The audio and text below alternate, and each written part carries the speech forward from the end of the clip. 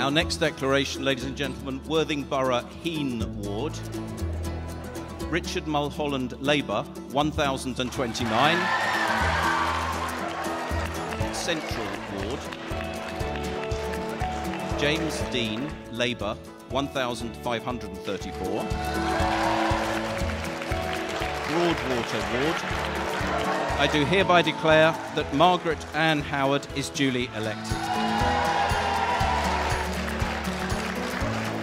Hello, this is uh, Jim Dean and Becky Cooper from the Assembly Hall in Worthing. Um, we are now at the end of what has been a very exciting local election period. Um, I'm going to let Jim explain what has happened. Go, Jim.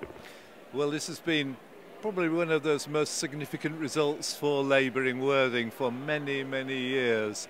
Uh, we thought last year getting our first councillor for 41 years was big news. It was big news. Let, us not underplay that, but this is okay today as well. Absolutely, but we we now have five councillors on Worthing uh, Council.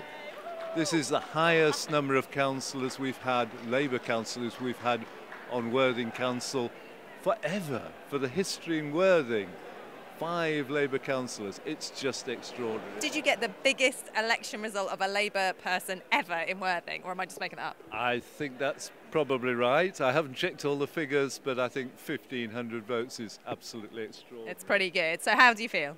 I feel excited, tired, all kinds of emotions, but actually I'm really looking forward to getting stuck in. Yeah, me too. It's going to be amazing having five of us on the council, obviously when we've had some sleep. But uh, what's the first thing we're going to do, Jim? Um, I think the first thing we'll ha have to do is have a meeting together. no, no meetings, no meetings. I'm banning meetings.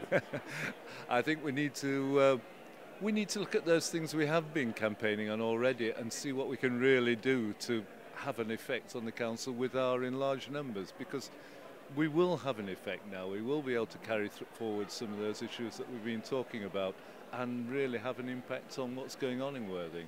So it's going to be exciting times after some sleep, after a celebratory drink after a bit of a rest, some celebration. We are wrapping up, apparently. We're going to stop talking, but thank you. I think we need to say thanks to everybody who voted and to everybody who pounded the streets and everybody who did so much work. I mean, it's just been fantastic, hasn't it? Before we go, we need to say big thank you. It has. I mean, we've had a superb team working for weeks and weeks and weeks and giving up their time. And I feel quite humbled, those people who've given up all that time to help us. And so we're, we're their, the result of their efforts. Yeah. So thank you very much. We'll do our best for you on Worthing Borough Council, uh, but we are going to have a bit of rest first now, and I hope you are too. And please celebrate with us. Thank you.